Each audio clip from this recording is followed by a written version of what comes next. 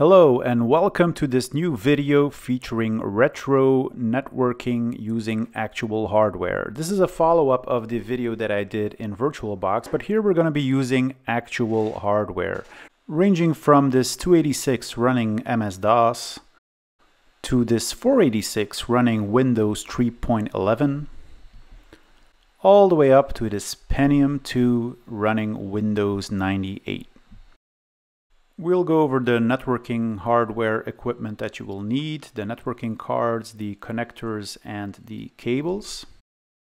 And we'll create our own little private Microsoft-based network using Windows 98, Windows 3.11, and MS-DOS, hooking all of these three machines together and making sure that they can exchange files in an easy way. So let's start with the networking equipment. We'll be needing three networking cards and all networking cards have a BNC connector as I'm going to be creating a 10 base 2 network. All of the network cards are ISA of course because we will put them in these retro PCs. To create a network we need some coaxial cable, we need three BNC T connectors and two cable end terminators.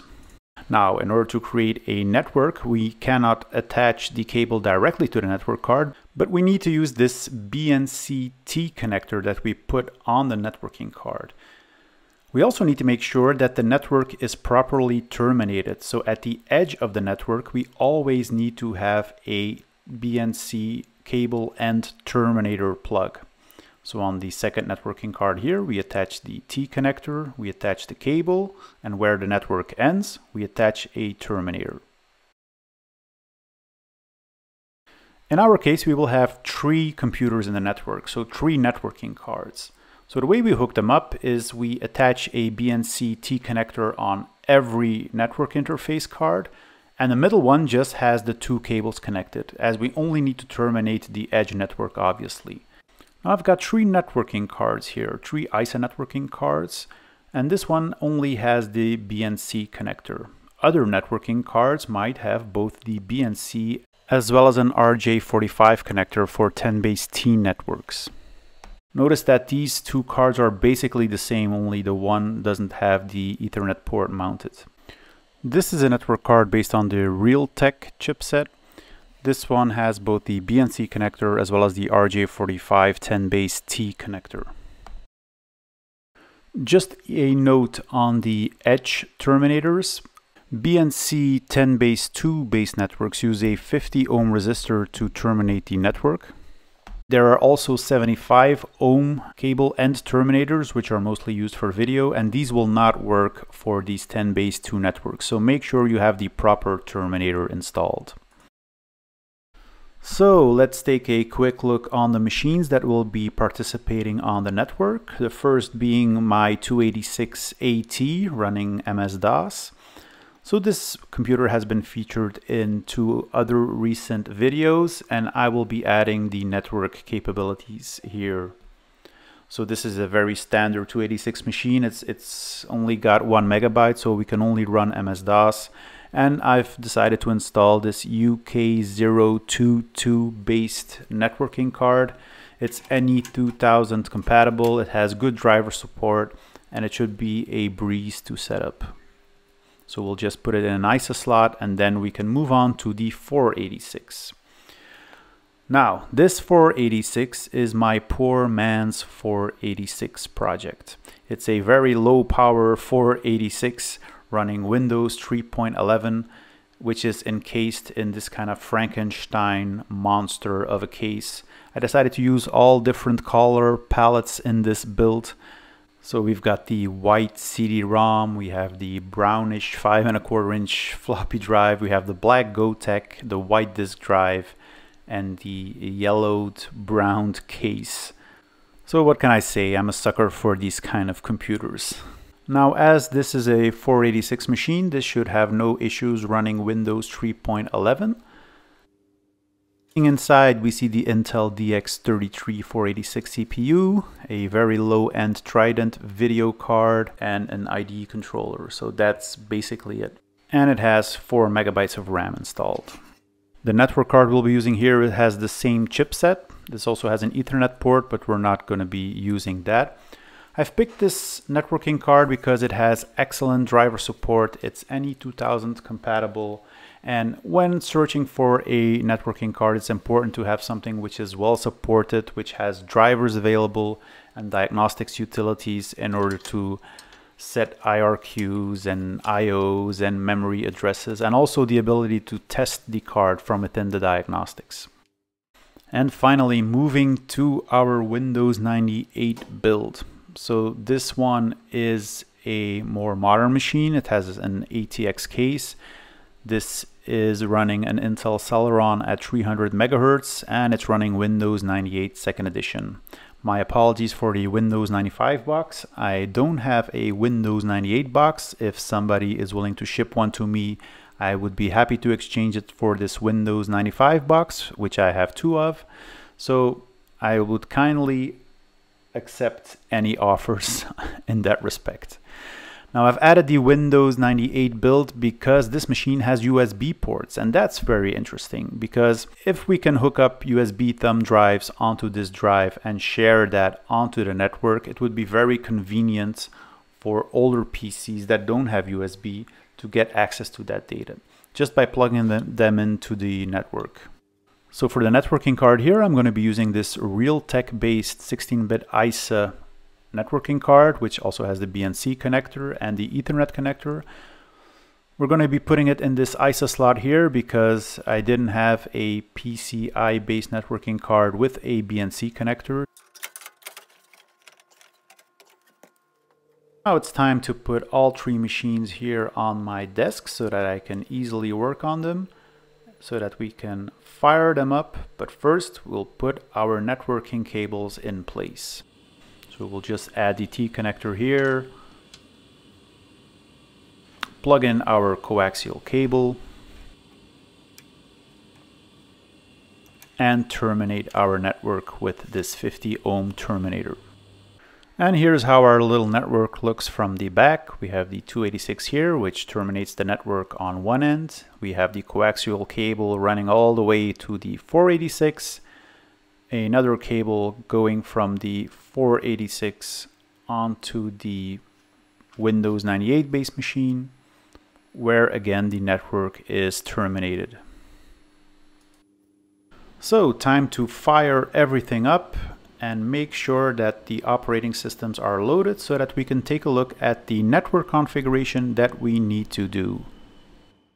Let's take a look at the software side of things, starting with MS-DOS. We'll start by looking at what's on the driver disk of the networking card, and this will typically be a folder structure like this.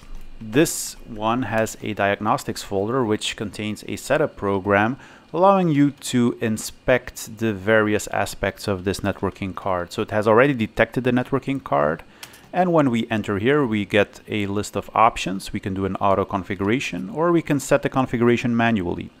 In this case, it's set up to use IO address 300 and IRQ3. And it also allows you to specify the adapter mode, the transceiver, a boot ROM address if you have a boot ROM chip installed. This setup program also allows you to test the network adapter, so it will do I.O. tests, RAM tests, it will do an internal loopback as well as an external loopback test, allowing you to test the physical wiring of your network. Here it will be sending packets and if you have a different machine with the same network card you can actually see both the transmission count and the receive count incrementing. But I'm going to be changing the configuration of this network card because I want to use the IRQ10 because I still need to install a uh, sound card onto this machine and I want to make use of all the I.O. ports. So IRQ10 should be a relatively safe IRQ for a networking card. We'll do the test again to just to make sure that there aren't any conflicts and everything seems to work fine. On the 286 we'll be installing the Microsoft Network Client 3.0 which is distributed on two three and a half inch disks. So we're going to launch the setup program on this computer.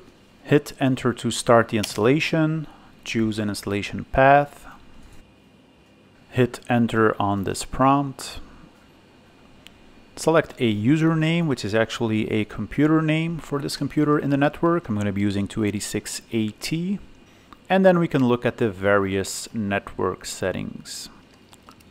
So we can look at the names. So as you can see, the username and computer name is the same. Here we have some redirector options. We're going to be using the full redirector here. And as you can see, the setup has detected an NE2000 compatible networking card and it has installed the IPX compatible transport by default. Now we are going to be removing this because we are going to use the Microsoft NetBEUI protocol, which is fast and very easy to set up and very appropriate for these small local networks. So after that, the setup will copy some files and the installation should be complete and we can restart our computer. Notice how upon startup the NE2000 NDIS driver is loaded and the various uh, networking related tasks are started, prompting us to enter a password, create a password list file, and we should be good to go.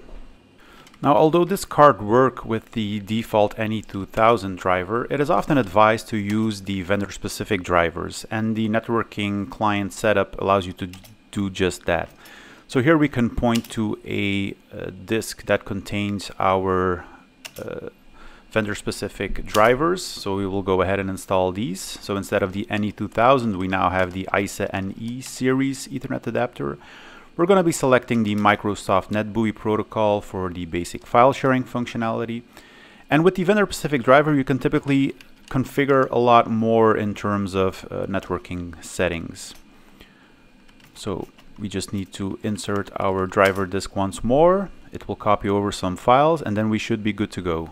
Now after a reboot, the only thing that you will notice is that a different uh, driver is being loaded. This is the NE2000 compatible Ethernet adapter and this driver version 4.04, which came from the vendor disk. Now a lot of these vendors use the same type of NE2000 compatible drivers. But this one does show the IRQ and the I.O. address of the networking card and allows you to configure the networking card a little bit more than the standard NE2000 driver. Whereas before it was using the Microsoft NE2000 and this driver version 2.0.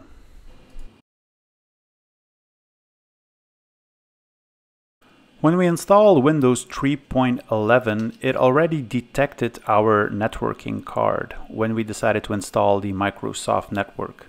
So as we're going into the network setup right here, you can see that it has detected an NE2000 compatible networking card.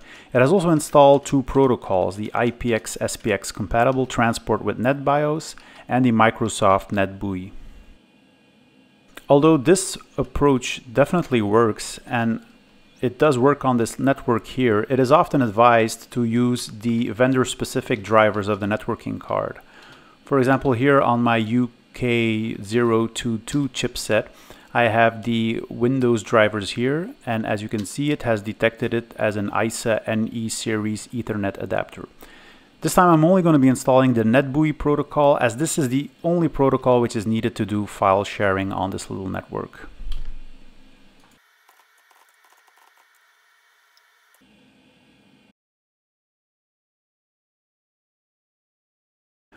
Moving along to our Intel Celeron 333 MHz running Windows 98. So this one has been equipped with the Realtek plug and play card, which is automatically detected upon startup of Windows 98, which is a good thing. It will automatically configure the correct resources, uh, I.O. addresses, IRQs, and stuff like that. So it was loading up the drivers from the Windows 98 CD and after a quick restart the networking card should be available and we should be able to hook this computer up to the network. Now a quick inspection of the networking properties in Windows 98 shows that we have three network interface cards here. Now the two that you see here are actually the PCI based networking card which was in the computer before I installed this plug and play thing. So I'm just going to remove them manually here and make sure that we only have one network interface card defined here. I'm going to be using the NetBEUI protocol. I'm going to leave the TCP IP protocol here for now. We're not going to be using it because we are primarily focusing on file sharing using the NetBEUI protocol. So let's start by sharing some files right now. We'll start with Windows 3.11. So if we launch the File Manager, select a folder, go to the Disk menu and click the Share As menu item, we'll get this window that allows us to share the directory, give it a comment, set up the access type, and when hitting OK, the folder will be shared on the network. The little hand icon on the folder indicates that this uh, folder has been shared and is accessible over the network. On Windows 98 we have a similar thing, so we open up the File Explorer, select a folder, right click, sharing, we can share it, give it a name, give it a comment, again specify the access type, and the folder will be shared across the network. Also here a little hand will appear on the folder indicating that this is in fact a shared folder. So what about MS-DOS? Well, the MS-DOS machine isn't capable of sharing files itself. It is only capable of connecting to shared folders that other computers have made available in the network. So let's go back to our 286 right now. When we do the net view command, we can view all of the servers which are available in our workgroup. And we can actually see both the 486 and the Celeron here. We can also map a network share to a local drive number here by using the netuse command. So here I'm going to be mapping drive letter E pointing to the data folder on the Celeron where I have some 286 utilities and games uh, copied over. And just like that, I can go to the games folder, select a game and launch it right off the network, which is a really cool thing actually. The only thing you need to do is you need to hook up your 286 onto the network, map a network share, and you are good to go. Another thing worth noting is that the net command also has this graphical user interface, which will show you your current connection and will allow you to create new connections, browse the network, disconnect existing connections and stuff like that. One thing you do need to look out for when debugging your network configuration and you're working with uh, mapped drives that you are reconnecting is to ensure that these map drives actually work because when you reboot your computer the Microsoft Network Client will remap these existing connections making you give the impression that everything is okay, while in fact it's perfectly possible that in this case the 486 DX33 isn't even present on the network, as is the case for example here. So it makes you think that, oh, the D drive is connected to the 486, while in fact it is not. On our Windows 3.11 machine, we can use the disk menu and select the Connect Network Drive option, where we will see our workgroup here with the two computers that are accessible over the network, which is the 486 and the Celeron. Again, note the MS-DOS machine isn't shown here because the MS-DOS machine is a client only and is not capable of sharing files or exposing itself on the network. So here I have added the D drive here, which points to the Celeron machine. And finally moving to Windows 98 where we have the networking neighborhood, which is a place where all of the computers in our workgroup will be shown. So here we can see our 486DX33 and we can right click in order to create a drive mapping. So a local drive letter E will be created on this machine that points to our 486 shared data folder. So we've reached the end of this video on retro Windows-based networking on actual hardware. I really hope you've enjoyed this video, enjoyed the machines that were shown here. And as always, if you liked it, please consider subscribing, giving a thumbs up, or commenting on the videos. It would really help out, and I hope to see you guys soon. Bye bye.